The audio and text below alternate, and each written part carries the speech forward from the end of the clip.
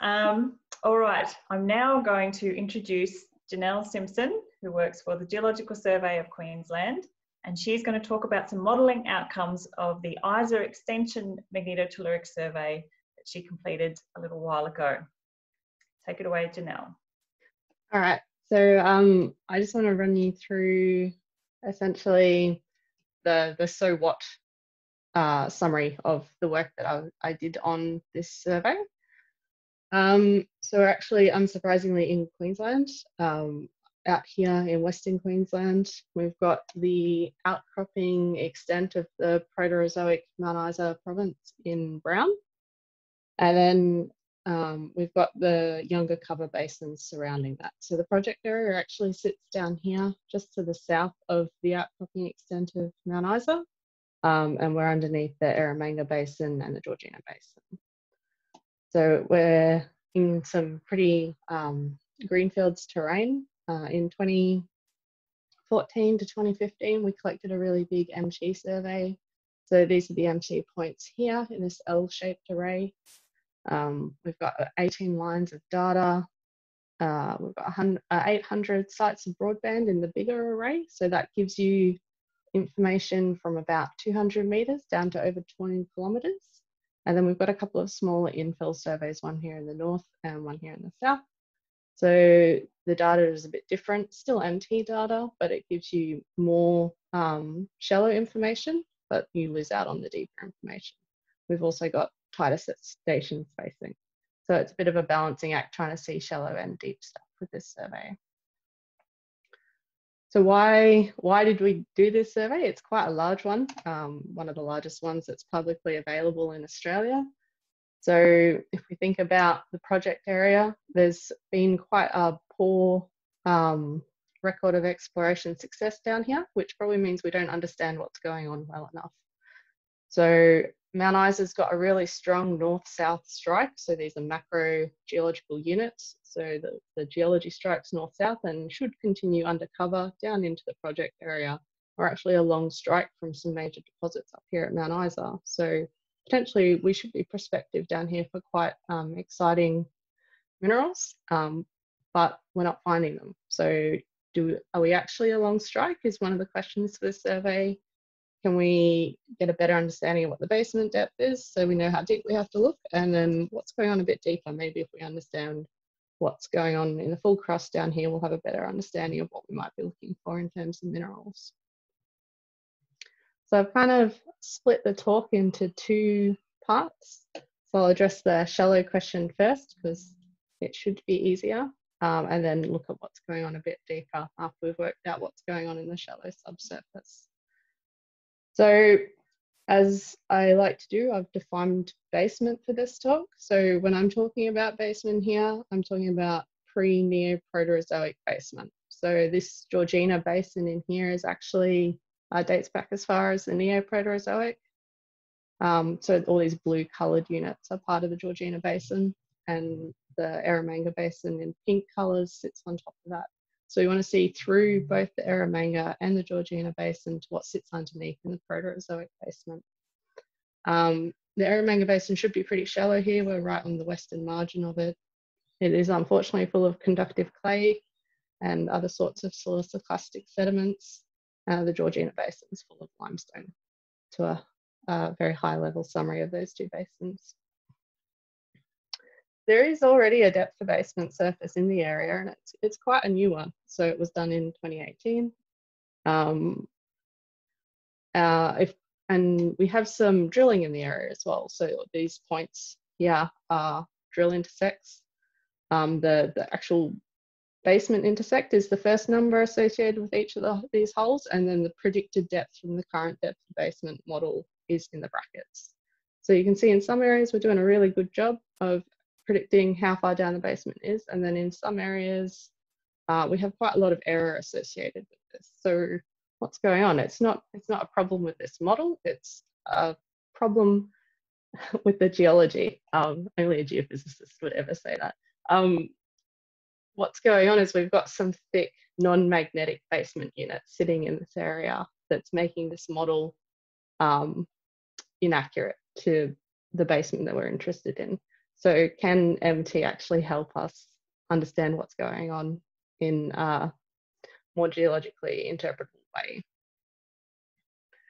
Um, so one of the first things I did is some inversion testing just to see what sort of results we get out of inverting this data. There was some data analysis that preceded this, similar to what NASA was talking about. So we made sure that we were inverting the data properly um, and had a feel for what we might be able to get out of it. So these are just a couple of shallow inversion sections. We're only going down to two kilometers here. Um, and we've got this one here associated with this drill hole. So to a first order, it looks pretty good, right? You've got this quite shallow conductive uh, layer that thickens off to the east. And then we've got some sort of two layer basin sitting underneath. It's a bit more conductive at the bottom. And then underneath, we've got some resistive basement. So this is very, it's pretty encouraging. This is the actual basement intercept here. So again, it's not quite on any of the layers, but you know, it's in the ballpark. Um, and then if we go to the other place where we've got some drilling control, we've got a conductive thing up here, which um, is in the top of the Georgina Basin. It's not Eromanga Basin this time, so that's a bit different. Um, we've still got this two layer basin structure and then a basement six. Again, that kind of sits down off the bottom of the main features of the inversion. So initially promising, but maybe with a bit of um, bit more work to be done. So unfortunately, none of these uh, drill holes that were done by minerals companies had resistivity logs, so it's hard to know exactly what we can expect from the electrical resistivity of the geology in these areas. But if we step a bit further afield, there's a petroleum well out here and a couple of other petroleum wells as well, where they've done a really good job of logging the sediments and they've also done some downhole resistivity. So if we've got this geological layering down um, the hole, and then we've got this resistivity profile associated with that geology, we can generate a, essentially a pseudo geology, well, a pseudo resistivity model um, of what the subsurface might be in reality. Uh, so this is like a synthetic model of what I think might be down there. And then we generate MT data from this and do some testing. So what we're trying to do is work out what MT will be able to resolve from this geology and what sort of inversion parameters are going to be useful for us. So we did a bunch of different inversion code testing. These are just different one-dimensional inversion codes and there's a two-dimensional inversion code here. And you can see we're doing a reasonable job of recovering the structure. So if the subsurface is this dashed line, the predicted model is this blue one. So we're doing they're doing pretty well. So we should be able to resolve what's going on in the shallow basins. But um, if we look at this panel here, uh, the, this is the actual basement interface. We can see that there's a problem. How do we interpret this basement in kind of a sea of blue in one of these inversions or in this big spread of data here? So we need to think about this a bit more again. Um, what we ended up doing is using a combination of the 2D inversion and some of the 1D probabilistic inversions. This gives you kind of what the average inversion is, but also gives you an estimate of uncertainty. So it's really, really useful if you've got things that you know are not that well constrained. So this is uh, an output from a 1D inversion.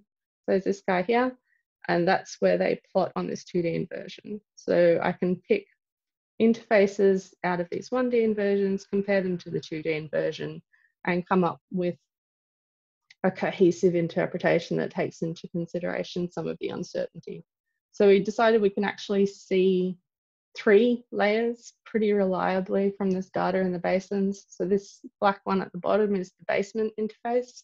You can see there's some disagreement here between the 1D and the 2D. You can talk to me about that after if you want to know what's going on. Um, We've got an intrabasin unit here that sits along the, um, towards the top of this conductive part of the Georgina Basin, and we've got a thin little piece of Eromanga basin at the top. So we think we can reliably interpret all of these basin units. So if then I compare what I would call, so this is, this is the final depth debasement out of the MT inversion results, and compare it what is electrical basement to what is magnetic basement. This is the pre-existing interpretation.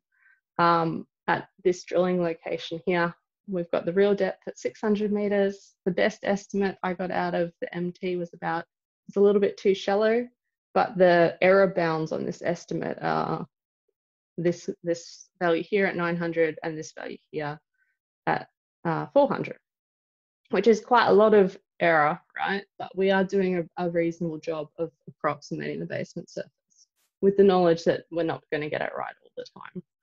Um, and then we, we could do better than this if we had some uh, downhole resistivity data from inside the project area or if um, we had a bit more drilling control at the moment. Because it's a greenfields area we don't have that. But interestingly even the maximum estimate we get out of the mt data is shallower than the frogtech model so if we think about what this actually might mean it's not that the, there's a problem with the frogtech model it's that there's a difference that we're seeing in the geology. So um, if we've got a shallow, a maximum depth from the MT that's shallower than the frogtech model, what's likely going on is we've got quite a thick package of non-magnetic basements sitting in here. So if we look across the survey, where that might be, that's these uh, hashed areas here. So all of these areas potentially contain shallower Proterozoic basement than previously thought So that's kind of the punchline of what we did with the basement study, uh, the basin study. So looking down underneath that now, um, as I mentioned previously, we're a long strike from Mount Isa. So Mount Isa and George Fisher are a couple of very large um, base metal mines for anyone unfamiliar with the Mount Isa region. Um, and the this large black line here is interpreted to be the western boundary of the Mount Isa province. So the at least the eastern part of our survey should be within very similar to geology, uh, very similar geology to what's going on further north. Um, but we don't we don't really know what this this big black structure is. It's been interpreted. Some theories about what it might be. We don't have any direct evidence of what it is, or at least we didn't when we ran the survey. Um, zooming in a little bit to look at what's interpreted as the solid geology. There's actually, this is that same major structure that goes down through the MT array. There's um, sediments of the Leichhardt Superbasin to the east of that, and then significantly older pre-Barramundi basement rocks associated with geology in the Northern Territory to the west of it. So there should be quite a um, uh, significant difference in geology across this boundary based on the current interpretation. Um, the data analysis showed that it was uh, quite a complex survey and we actually needed to undertake 3D inversion. So we've used uh, ModEM to do 3D inversion of this data. Um, unsurprisingly, again, I started at inversion testing. So one of the reasons that 3D inversion can be difficult is it's computationally quite intensive. So if you've got a really big MT survey, um, you're going to need a really big inversion model, and that's going to take a long time to run. So um, that's a pretty serious limitation for getting answers out of a survey like this. So what we did is we, um, and so it, it makes it difficult in general, but it also um, it makes inversion testing difficult, which means that you're less certain that the final model that you get is a reasonable one. So what we did is we actually did a subset of the data set. So instead of using all 800 broadband sites, we only used about 90 of them. Uh, initially, we subset them back to 10 kilometer regular grid. Um, and then we did a variety of inversion tests. So we changed the data, the input data like NASA did, we changed site spacing. Uh, we changed the model smoothing, uh, the starting model, anything that we thought would be useful.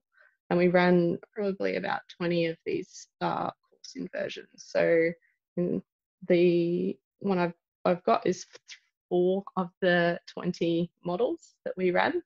Um, and what we're looking for is, well, initially there's a horrifying amount of variability here for someone who's not uh, that versed in inversion modeling. It's not that surprising. So if I start at the simplest model, there's kind of two predominant features in this guy.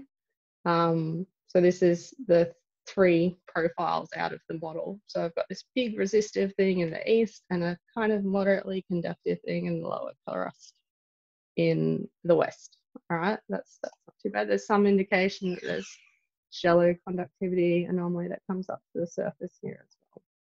So the next most complicated one is this guy. Again, we've got this big broad conductor in the west of the survey. And then this time, instead of just having this vague hint of a conductive feature coming up the surface, we've got a more defined conductive feature here. And then we can change different parameters, get even more conductive features. We can put in some geological controls. So this is out of a seismic line. There's a big dipping fault here. Um, we've tried to replicate the orientation of this fault in the model, in the starting model, and then let the inversion go. And again, we end up with a conductive feature next to this resistive feature, and then a big broader conductive feature out in the west. So what we're looking for is consistent features rather than ones that come and go. Um, if they're consistent for a range of different models, there's a, a higher likelihood that they're real rather than just a model artifact. So from the suite of 20 models that we ran, there's kind of there's always this big conductive feature in the bottom of the western side of the model. This guy here, he's always there. Um, and then in most of the models, there's some indication that there's a conductive feature in the middle. Um, so taking that going forward, we used one of those pre-existing coarse models to start up a fine model with all of the data. So this is all 800 sites have been used to generate this final high resolution model. Um, and obviously you can see there's some uh, constraint imposed on this model, but we thought that that was valid based on our understanding from the seismic data. Um, all right, so I've done a bunch of inversion work and then I got some anomalies, but what, what do they actually mean? Um, it's all well and good to run a model, but at some point you have to decide what they might be. So if I think about, NASA showed this one already, I think about what could be generating these conductive anomalies, um, in the shallow crust, it's, it's a fairly easy proposition. Um, you probably got a, have an anomaly related to either fluids or composition or both, likely. But as you go deeper into the crust, it gets a bit more complicated. We don't understand what's going on down there as well. So at the moment, there's a, our best understanding at the moment is that increased pressure and temperature is going to increase your conductivity, but we're in the middle of the Australian Craton. It's probably not that much variability of temperature and pressure within the survey area, at least. So we have to look for other explanations. Um, two common ones that come up in, in the MT space are either hydrogen or graphite. So these are thought to be proxies for movement of alteration fluids through the lower crust. Um, so if you've got hydrous fluid, you're going to get hydrogen enrichment. If you've got carbon-rich fluids, you're going to get graphite films associated with grain boundaries, um, both of which are thought to increase the conductivity. If you've got really conductive things in your model, there's other compositional things that might be affecting you, such as presence or absence of fluorine. Um, this is probably not relevant for my work, but it has been shown to be a possibility down in South Australia. So um, generally, generally when we're thinking about these deep crustal anomalies, we're thinking um, either compositional differences or alteration flow. Um, so if I, with that thought in mind, if I look again at uh, a slice out of the model. So what I've done is I've taken a slice out of the MT model and put it on top of the deep crustal seismic that was run about the same time, a bit subsequent to the MT survey. Um, this, this, this big dipping west fault was actually um, used in the initial model to help locate this break in resistivity. Um, and then we've got this conductive feature that is spatially associated with this mid-crustal fault at the top and kind of probably dies off into this big west dipping fault. And then we've got another big west dipping fault here, and that seems to be uh, the boundary of this conductive lower crustal stuff off in the west. So we've kind of got two big fault structures that control the distribution of resistivity to a first order. So this big structure sits here along the edge of the magnetic high. We've got a conductive anomaly in here sandwiched with this big fault and then the lower crust in this area over here seems to be significantly different. So this lower crust is a significantly different lower crust to what's going on here. So there's an indication that either this feature or this feature could be some sort of terrane boundary. Um, but of interest to exploration, you've got crustal penetrating faults associated with potential fluid movement. So that's that's an interesting deep crustal outcome from this survey that has relevance to exploration industry. And then if I think a bit broader, so I've got my, my little array, it's about 100 kilometers east-west and maybe um, 90 k's north-south. So if we step out a bit further, how far do these trends extend across the Mount Isa Inlier? Again, thinking about is what we're seeing in our project area similar to what's going on further north to where we know what the geology is. So this is that same model slice. Uh, this is the big currently interpreted terrane boundary. And if we look at this data, so there's a series of uh, profiles extracted out of a 2009 MT survey. These ones are publicly available. There's a, there's a recent paper that uh, got similar results to this inversion, these inversions as well. So it looks like this resistive block on the eastern uh, margin of our survey is actually part of a larger trend that extends up into the outcropping part of the Mount Isa inlier and Mount Isa is about here. So it could all be very similar geology. geology. Um, this lower crustal thing off to the west that's quite conductive, we don't have any data in this data set that tells us where this might go um, to see what the trends might be. But if we look at the recently acquired AusLAMP data, so this is Geoscience Australia's uh, most recent modelling from the AusLAMP data collected recently, the project area sits down here. Again, this data supports that we've got this big trend of resistive things, of resistive crust under Mount Isa that probably extends down into the project area, and then a more conductive crust to the west. Um, and this is of interest because there's been a, quite a lot of work come out of South Australia that suggests that the gradient between resistive and conductive crust in the lower crust is actually important for localization of mineral systems. So if I try and sum up all of that as a couple of takeaways, um, the MT survey has kind of a shallow set of results and a deep set of results. Uh, in the deeper data, we can see that this conductive anomaly is probably related to fluids associated with faults that come up into the project area from depth. Um, we might have thickened packages of Proterozoic basement that are previously unknown from the depth of basement. And um, it's not always easy getting uh, an interpretation out of this MT data, but if you do your best to understand the uncertainty and instead of ignoring it, you can come up with an interpretation that um, might be useful. I think that's it. I Don't know how I've gone for time. Thanks, Janelle. Um, so we we have a, a, whole string of questions here. Um, I'm going to ask you one from Wenping Jiang. Uh, do you look at what the common robust features are among all the models using different subsets? Yeah, yeah. So that's one of the primary ways. I think that one was directed at NASA as well, but that's oh, okay. probably the most um, important thing in trying to understand what features are robust and which ones aren't. Okay, all right. And um, could you comment on data dimensionality? Yeah, for sure. Um, so there's a, a difference in modeling approach depending on the data dimensionality, even within this this pair of studies that I've presented.